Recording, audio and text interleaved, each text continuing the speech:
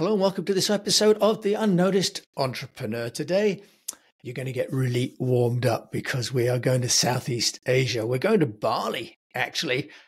But amazingly, we're going to talk about not just Bali, actually, we're going to talk about blockchain and Web 3.0 and how a group of people have found an amazingly lucrative niche. So, if you're running a business and you're not sure that niching is the right thing to do, then today's episode is definitely for you because my guest today is going to explain how niching in the simulation flying business has proven to be worth its weight in gold. We're also going to talk about the influencers and the power of YouTubers. And Roberto is also going to share his experiences about what he did wrong when he tried to build his brand. Roberto Capodieci is joining me today from Ubud. Roberto, welcome. Ciao. Thank you. Hello, and thank you for having me. Well, you know, I'd love to say I could fly over to hmm. Ubud in Bali with you. It's a beautiful, beautiful place. I used to go there when I lived in Singapore. But you've been in Bali for, I think you said 19 years now. So tell us a little bit about you. And then we're going to talk about SimFly, which is a business that's just launched and was cash flow positive almost from the get go. So introduce yourself, Roberto. Sure. So, uh, hello everybody. Uh, my name is Roberto Capodieci. I'm Italian because nobody is perfect. And uh, I've been living now in Southeast Asia, mostly in Bali. I've been spending time in Singapore as well for the past two decades before I spent uh, decades in the United States, in Florida, because I like hot places. And originally I'm from Italy, Venice, a city that many people may know for as a, as a tourist destination. And I run business in all these places, in Italy, in other countries of Europe, in the States and in Southeast Asia. So I really had a, mix of experience in what it means to deal with uh, employees, partners, uh, clients in different countries. Yeah, Robert, you, you've got a wealth of experience and, um, you know, lived in some beautiful places too, uh, uh moving from Venice to Ubud uh, as well. You've got a lot of experiences which we could talk about, but I think because I like to talk about the unnoticed entrepreneur and how you build a, a business and people like you have been building businesses that, that people aren't aware of. Tell us about SimFly. And there's a whole area, whole business, whole community worldwide that's enjoying flying planes um, virtually. Tell us about that and tell us about the business that it represents and why it's an amazing niche. Yeah, I think that's it's been an incredible experience for me. Now is uh, short of uh, two years that we're working on this uh, on this project. And uh, it's something that it took me like by surprise. As i was taking a little bit of sabbatic time i was uh, helping startup and i was mentoring startup and i end up uh, mentoring this startup that uh, came out to be something that i initially thought was not really good no really straightforward idea. But i had to really change my mind and understand how powerful is to target a niche, even a huge niche, because uh, in the world of flight simulators, uh, Microsoft themselves has uh, celebrated 10 million of active users. And uh, in this particular niche is also uh, a target audience that uh, has uh, the capacity to, to, spend, has the passion to stay in the subject. so even though it includes a lot of people, is uh, a lot of people that have a very particular profile. So this is an interesting aspect that uh, help a business uh, grow. If I can think to a parallel, many years, 30 years ago, a business that sell locally need to connect to the community, uh, need to be part of uh, those uh, channels that brings the business to people. So really like the religious uh, congregation rather than uh, the school and the other things. Now that we are in international thanks to the internet, uh, we, are, we are talking to each other now from one side to the other of the planet, then the means the, of the community are more close to what is a niche. So the community grows around a common interest, a specific interest. So that's uh, the channel to get uh, to a lot of people. yeah, and I think that's a really, really good observation that the that the niche is no longer by geography, but by area of interest, and then can be a global, even if there are just a few people in each country, for example. Collectively, you've got a business. And Roberto, Simfly, which is S I M F L Y dot I O, Um, can you just share with us what do people get do uh, when they sign up for SimFly? Yeah, absolutely. So SimFly targets uh, uh, people that love uh, to fly with a simulator, with a flight simulator. Okay, and these people really like the idea of the simulation as is part of the core name, right? So they love the idea of simulating uh, the flight of an airplane, but all the things that are around it.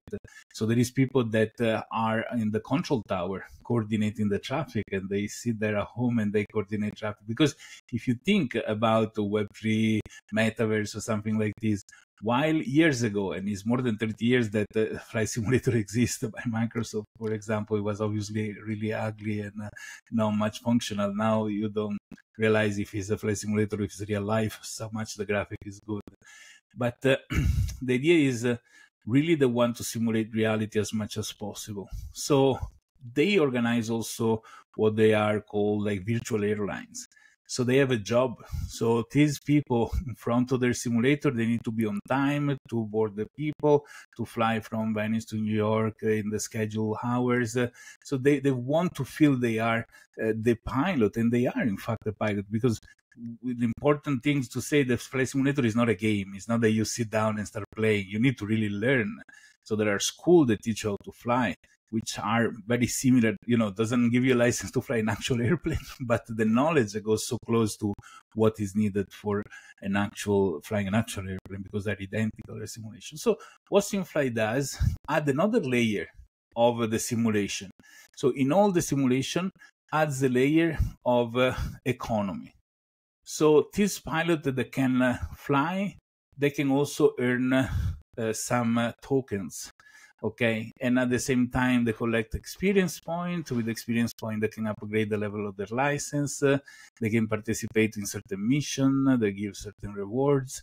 And there is all a logic all an economy around it. So they can build a career but they can start also from an advanced level if they're already advanced. So it's uh, uh, really empowering the community to live to the extreme the pleasure of the simulation with this touch of reality, which has been a challenge to communicate to this community because as soon as people heard NFT, tokens, blockchain, the reaction has been very mixed. Some people understood and appreciate. Other people immediately pointed the fingers, say scam, Ponzi scheme. So has been something where we had to build trust. We have to show that we are there for real, that we are working hard and we deliver a product. So it has been interesting. Yeah, really, really uh, fascinating that there are people in the world that are spending their time flying planes. But I guess there are people doing, you know, gaming. There are people learning musical instruments online, playing chess online. So there's a whole world. And but you've enabled it with blockchain, haven't you? Um, so that's distributing the ledger, and people are getting paid with with NFTs. Is that is that right? Or with well, practically what is important to understand for people before we go into these technical things of blockchain is that uh, blockchain is a technology. So technology doesn't have any fault on its own. So technology cannot be a scam. Technology is just a tool and can be used for many things. So I stay away from what is the world of cryptocurrencies and what has been used to you know the fraud people also for many good things but that's a planet that, that is on its own in this context, uh, the blockchain is necessary because uh, the biggest revolution the blockchain brings is the singularity of digital assets, which means that before I could have an MP3 file, make 10 copies, give it to 10 friends, and we don't know which is the original because they're identical. Now, I cannot make a copy of my Bitcoin because if I could make a copy of Bitcoin, Bitcoin would, worth zero, right? So if we translated this capacity to other things, I can create a digital asset, which is the ownership of an airplane, a pilot license, the ownership of an airport, and represent it uh, through the blockchain as an NFT. Not because I want to have uh, the monkey that sell for half million dollars, but because I want to guarantee the person that purchased this asset uh, that is unique and belongs to this person and nobody else because it is supported by this technology. So this is the goal of the technology. People can invest in airplanes, rent the airplanes out and earn, can invest in an airport, and every time an airplane lands and take off, they also earn. And with what they earn, they can buy more airport and increase. You consider that they can start with an airport that costs $50 or 50 packs tokens earned through the game and end up with airport like Dubai that costs 100,000. But we don't put it there hoping that somebody arrive with a credit card and buy $100,000 airport. This is a goal of a career. It's a goal of a group of people that comes together and make the purchase because this is the idea of the simulating the reality, the game, what it comes for the entertainment of uh, playing. I fly, make money, invest my money, and I have an active income that is my work of a pilot, and a passive income that is uh, my purchase of an airport. Roberto Capodieci, we're speaking to in Ubud, talking about global flight simulators powered by blockchain and NFT. So we're we're definitely in a whole new area here uh, on the show. Brilliant. Thank you for introducing this, Roberto. Um, you mentioned about the issue of trust and building trust in the community. And as you said, also, you can't see all of these people that are littered and dotted around the world. Um, how have you been building trust amongst this community? Because you've got the people that are maybe already au fait with NFTs or crypto, or maybe younger generation, but presumably many people taking on some of the uh, some of the roles are maybe you know not of that domain. I mean, my my generation haven't grown up with this. So how do you deal with the trust issue um, around this whole concept? Yeah, this is what you, when you bring something outside this contest, uh, you're gonna always face some uh, because people is afraid of the unknown, right? It's human. It's, it's, it's there for survival. So in the context of Web three, so you talk about Web three to Web three people, they already know and they accept it with no problem. But as soon as you take it out and you bring to people flying the flight simulator, they are uh, all a completely different kind of people. They are going to look with suspect to whatever is brought to them. Also, because being a very strong community, they also defend correctly their parameters, so they pay attention to what is coming in. I mean, to the point that we try to make one page advertisement in a very important website and they took it down the day after because we were mentioning blockchain because they were afraid that, that they were associated with something that was bad. Comes out that one year later the opinion of many people has changed. So if at the beginning we had to go there and respond to tons of comments that were, you know, insinuating things without the knowledge base of what they were saying, and we were have to telling them, look, thank you for your comment. We can explain to you, but pay attention what you say. Take responsibility what you say at the same time, right? Yeah. So this is interesting, Roberto, because we're really part of this show is about crossing the chasm, you know, and uh, you know Michael Moore's concept that you know, new technologies have got to get from the early adopters across to the late adopters and get market maturity, or they fall into the chasm and never get out. And you know, back in well, late '90s, I was launching predictive text, intelligent text entry for mobile phones in Singapore, and the technology was from California, but it was being introduced through South Korean mobile phones because they were the only people that were willing to try this technology first, right? So now, of course, uh, it's ubiquitous. So, so it sounds as though you were having to do education in the same way that we were back in the day with predictive text. So, education is a big part of getting people uh, to embrace the new technology. Is is that the takeaway from that? You know, I have something very interesting on this topic because they used to say, talk well, talk bad about me, but just talk, keep talking about me because it's very important things. This is true and not really true in business because a lot of people talking bad is not a good thing. But the person putting a lot of energy even to attack somebody can be easily converted in a super loyal person and a promoter. They still use the same quantity of energy was using to attack you to actually promote you. So the psychology behind people behaving a certain way is something that is worth analyzing because sometimes it's really little. They want the little attention. They want to, you know, and and once uh, you can get this person, you can really reverse the role, and uh, you know, so so that's something taking care sometimes one by one, showing the attention to one person, single person. And then when you create community, the next person that attack, there's going to be 10 other members of the community that comes in front to actually explain uh, or do the, so it solves by itself the problem with time, but it's important to build the, core of this, uh, of this community, this client base, whatever we want to say.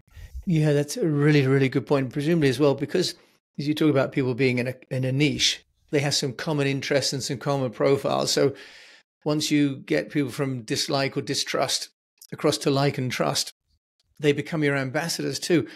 With Simfly, how do you run the community? Do you have that on a platform like Mighty Networks, or is it inside Simfly.io's website? Uh, actually, we have a nice channel in Discord. We have a newsletter uh, we have uh, other means, but uh, the, the, the community dispersed among these things. Like out of eight thousand uh, people that register in as user in the website, uh, only a few thousand have uh, subscribed to the newsletter. only a few thousand are in Discord. I myself never use Discord. I, you know, I have a hard time to understand all the mechanics. So sometimes it depends on who you talk to. There are different channels. We have a, you know, a subset of users that are beta testers. They send us a lot of feedbacks.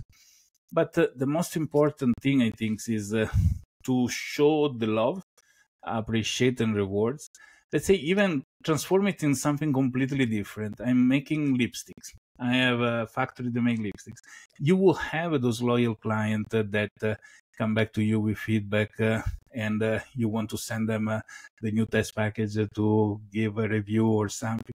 So these apply in all the directions. So you need to find those leaders between uh, the community, have the channel that they prefer, stay in those channel and help them help you practically. Yeah, Roberto, I, I, feel slightly reassured that you also find Discord um, uh, difficult because uh, you're a tech guy um, and a whiz, and I'm look, a member of Discord with a few. I know. Like, I know. I look. I look 25 years old, but I'm 50 years old next year, so I am also. yeah, Roberto has a, Yeah, Roberto is a, is a youngster uh, at 50. I won't disclose how how old I am. Roberto, um, you've been an entrepreneur though since your teens, uh, as you shared before we started recording. But as you've been building uh, Simfly, is there a mistake from a marketing point of view that, that you don't mind to share just to help me, uh, you know, learn something that I should not do myself? Right. I would say that uh, never enter in a channel that you cannot afford the, continuity of. So whatever is marketing is never a one-off there is no such thing like you do send one email and the people are gonna come and buy from you, or you put an advertisement and suddenly everybody's there.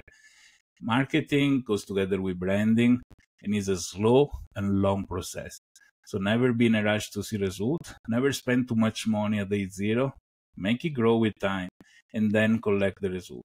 Now we have a return in Facebook that is incredible. Like spending twenty dollar of advertisement, bring a few thousand dollar of, uh, you know, uh, sales but it's not something that happened day one, right? It's something that uh, grows, uh, and uh, you know, people need to have the patience to go and see what people like, what people don't like, not be afraid to modify things. It's important when you have a website, people need to purchase how many clicks they need to do in order to be able to make a purchase. So all these things need to be monitored and you know and, and done properly. If somebody is a one man show, I suggest to go to a consultant those are money well spent. Thinking that you know everything is the biggest mistake because we don't. Yeah, and often, Roberto, the challenge if you're on your own is you directly translate the money you could be, you know, spending with the money you could be making, right? And often the consultant costs at least the same as you or more uh, than you're making, and so it's often a kind of an expensive uh, decision, but very expensive if you don't take the decision to hire an expert, isn't it? Right. Yeah, it can it can end up being indeed uh, more expensive than uh, people think uh, to waste money to throw them out. It's something that is going to happen to everybody during the business, making wrong decision. Don't uh, be depressed. Don't give up, and catch up with the. Yeah, absolutely. Yeah, but you but Roberto Capodieci, and I'm I'm working on the uh, Capodieci. I am waving my hands around. I know those of you that are listening can't hear this, but I'm waving my hands around uh, to try and sound more Italian. Um, Roberto, um, what about something that you say, you know, either from Simfly or from your many many years of running businesses that does work? What would you recommend to me uh, in terms of a strategy um, when it comes to getting noticed? Like I was saying, I mean, the important thing is uh, to be there. But when you have a product, there are many different things. There is not such a generic answer that cover all because who's what's the product? Is the product is the person because it's doing consultancy, so the person needs to be noticed. The product is uh, something we are selling. The product needs to be noticed.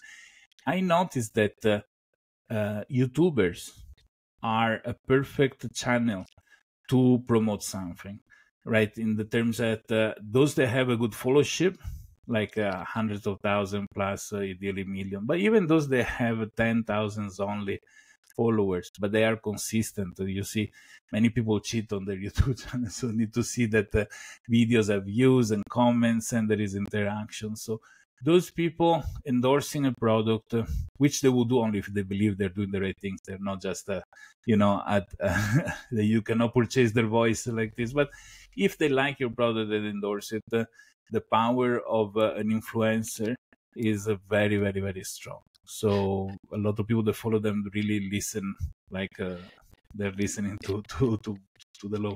Yeah, I think, and certainly my children watch YouTubers more than the mainstream media. Do you have an experience, Roberto, specifically with a YouTuber that you can share?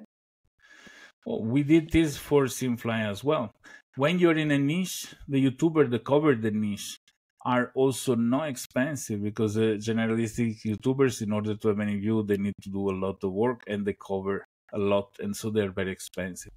People that go to a niche, they have less followers, they're cheaper, but those followers listen to them much more attentively because they're talking of something that they like. So if he's a you know a YouTuber that just tell things that anybody can be interested, it's even harder to make it uh, effective. So it's important to do something that uh, to go to somebody that uh, talks about the topics that the niche like. Mm-hmm. So those are yeah. to me the most effective uh, uh, channel that, that, that I've used to, to do that we did use to to, to promote Simfly. Well, that, that's fascinating. Yeah. And actually, you're one of the only guests I've had that's talked about influencers um, fondly, if you like, as being a, a, valuable part of the of the marketing mix. Um, but also, I love your point that if it's a very sort of well known and generic, if you like, sort of almost celebrity, their impact actually almost reduces. Whereas if they're in a niche, they have a certain integrity and credibility, and it increases their standing amongst their audience. Yeah, absolutely. Sometimes uh, some having effect on a little amount of people is better to have an effect in the big quantity, even if it's the l- smaller total. But uh, you know what is important is at the end of the day we want to make sales. So yeah. what brings the sales? That's compared to the you know what we used to call effective demand in in economics, right? right? That it's one thing to have demand, which people that want what you have but don't have the money to pay for it. But effective demand is actually they they've got the demand and the means to pay for it. Roberto, you know, I'm now asking, you know, learned entrepreneurs like you, and if you're in Ubud, you've presumably got some lovely long evenings uh, out looking over the coast there. Um, a book or a podcast you'd recommend for us? Well, I will start with the podcast, uh, which uh, I have a conflict of interest because I'm one of the hosts, but it's called Breaking Banks. It talks about finance I host uh, in Breaking Banks Europe, which is the European division. There's also localized content. And I have a series that is called Conquest, which is uh, educating not to fall for online scams or phone scams. So the con, the con artist, the quest is what we do to take them. Another book, uh, there is a book written by a friend of mine, which is very interesting for people working in corporate, sorry, which is called uh, talents and rebels. Talents and rebels. So is dealing with these misfits inside the corporate world. So if somebody run a, a company business that is large as uh, several employee or is managing like uh, his a book is worth checking. That's my okay. suggestion. That's wonderful. We'll put that in the show notes as well. Roberto Capodieci in Ubud, but um, a member of the management team and shareholder at simfly.io. If you want to find out more about you, because you've plainly got a huge amount of experience and this whole area of blockchain and NFT in a in a sort of a global sort of virtual simulation environment sounds fascinating. How can people contact you? All right. So if people can remember how to spell my family name, just Google Roberto Capodieci, which is C A O P I D. But doesn't matter.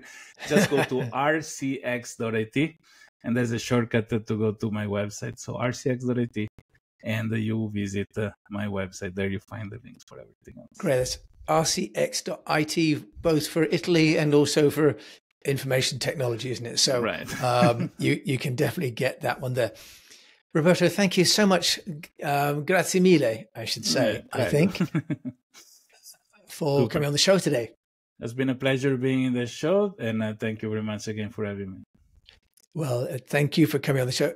You know, when I met Roberto using a platform called Matchmaker, actually, and we talked about coming on the show, I was just taken away because I haven't interviewed anybody that's involved in something of this scale um, and quality as Simfly. Um, so, really fascinated to hear how they built this amazingly profitable and very scalable business in uh, what would be, for me, an invisible niche. Um, but there are people out there living and enjoying and spending on a, a hobby that's kind of semi professional. So, it just goes to show that there really are businesses everywhere, and there are unnoticed entrepreneurs living great lives in interesting and fabulous tropical places as well. So, thank you for joining me, Roberto Capodieci. Thank you.